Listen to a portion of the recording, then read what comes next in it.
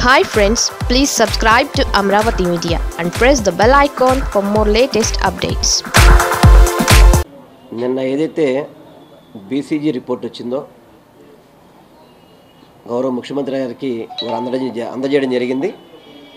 జిఎన్రో committee report ఈ BCG committee report కూడా రేపు ఆరో తారీఖు నాడు ఏదైతే హై పవర్ కమిటీ ఉందో ఆ కమిటీలో ఇవి రెండు కూడా చర్చించి ఈ రాష్ట్రానికి ఏది మంచి జరుగుతుంది?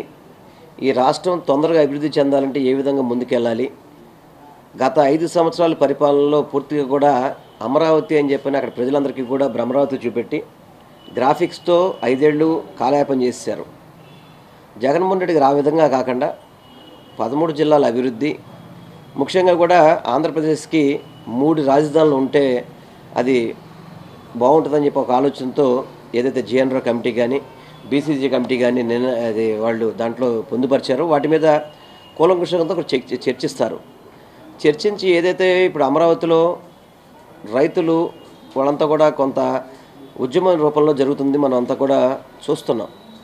దాన్ని పూర్తిగా కూడా చంద్రబాబు నాయుడు గారు అదేవిధంగా పవన్ కళ్యాణ్ వీళ్ళిద్దరూ కూడా వాళ్ళని రెచ్చగొట్టే విధంగా రైతులు భూములు ఇక్కడి నుంచి ఏదో కొట్టేస్తారని చెప్పని ఏదేదో వాళ్ళు రైతులను రెచ్చగొట్టే పని పని కార్యక్రమంలో వాళ్ళు పడడం జరిగింది. నేను ఒకటే చెప్తున్నాను. రాజధానిలో ముప్పై మూడు వేల ఎకరాల్లో కూడా కొంతమంది స్వచ్ఛందంగా ఇచ్చారు కొంతమంది దగ్గర బలవంతంగా లాక్కున్నారు కొంతమంది కోర్టుకు వెళ్ళారు. అక్కడ ఏ ఒక్కరికి కూడా ఏకాభిప్రాయం అనేది రైతుల్లో లేదు అక్కడ. అదేవిధంగా మనకి క్యాపిటల్ అని చెప్పినప్పుడు ఏ విజయవాడ గుంటూరు మధ్యలోనూ పెట్టుంటే ఈ పాటికి విజయవాడ గుంటూరు కలిసిపోయి ఉండేది ఐదేళ్ళలో. లక్ష తొమ్మిది వేల కోట్లు కావాలనేది చంద్రబాబు నాయుడు గారి యొక్క అంచనాలు ఇవన్నీ కూడా. దానికన్నా ఐదు వేల ఐదు వందల కోట్లు ఆయన ఇప్పటివరకు దానికి ఇన్వెస్ట్ చేసి దాంట్లో పదిహేను వందల కోట్లేమో సెంట్రల్ గవర్నమెంట్ ఇచ్చింది. రాష్ట్ర ప్రభుత్వం సుమారుగా రెండు వందల కోట్లు ఇవ్వడం. మిగతా దాంతో కూడా బ్యాంక్ లోన్ తీసుకొని దానికి ప్రతి సంవత్సరం కూడా ఏడు వందల కోట్ల రూపాయల డబ్బు రాష్ట్ర ప్రభుత్వం కట్టాల్సిన పరిస్థితి కనబడుతుంది. అంటే ఐదు వేల కోట్లకి ఏడు వందల కోట్లు మనం అది సుమారు మూడు వేల కోట్లకి ఏడు వందల కోట్లు కడుతుంటే రేపు లక్ష కోట్లు అప్పు చేస్తే మనం ఎంత డబ్బు కట్టాల్సిన పరిస్థితి కనబడుతుంది? అంటే అంత ఎక్కువతో చివరికి ఓన్లీ అది కూడా మౌలిక సదుపాయాలే.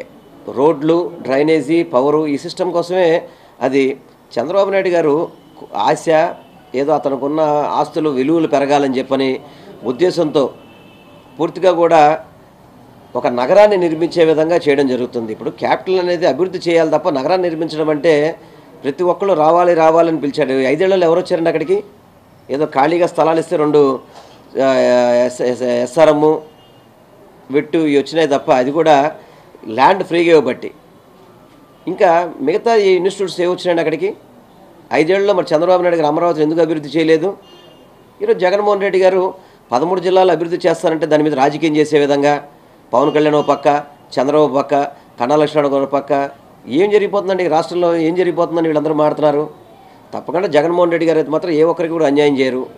ఈ ప్రభుత్వం జగన్మోహన్ రెడ్డి గారి ప్రభుత్వం రైతుల ప్రభుత్వం ప్రతి ఒక్కరు కూడా మంచి చేయాలని చెప్పిన ఆలోచనతో ఉంటారు తప్ప ఇవన్నీ కూడా రైతులను కూడా నేను ఒకటే కోరుకుంటున్నాను రైతులను కానీ కృష్ణా గుంటూరు జిల్లా వాసుల్ని.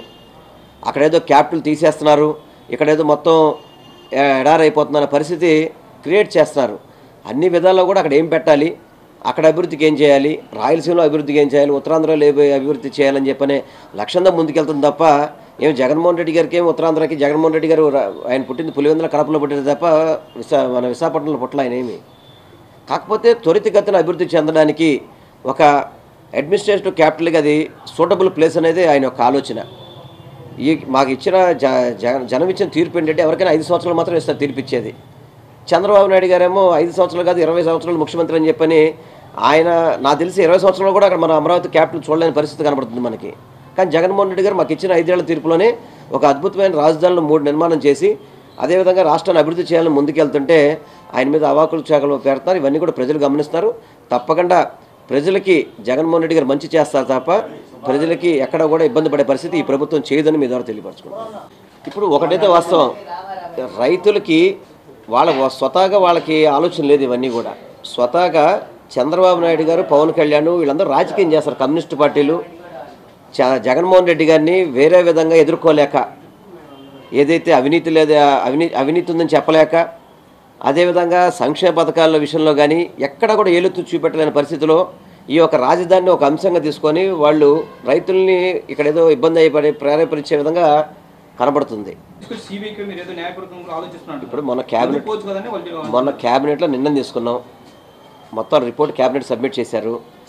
సిబిఐకి ఇవ్వాలా సిఐడికి ఇవ్వాలా జ్యుడిషియల్కి ఇవ్వాలా అనేది అది రేపు క్యాబినెట్లో ఫైనల్ అవుతుంది. హండ్రెడ్ పర్సెంట్ చేస్తాం. దానికి ఏం భయపడాల్సిన వాళ్ళు వాళ్ళందరూ ఇప్పుడు ఇప్పుడు పరిగెత్తారు వాళ్ళు తప్పకుండా ఈ ప్రభుత్వం చర్య తీసుకుంటుంది గ్యారంటీగా